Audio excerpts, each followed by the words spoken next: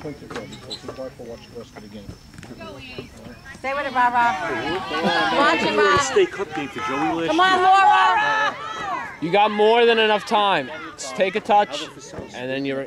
That's it. Why do you have to touch the comes ball over and starts first? yelling at me.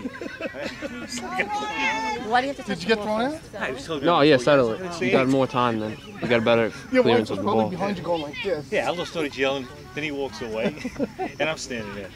That's great.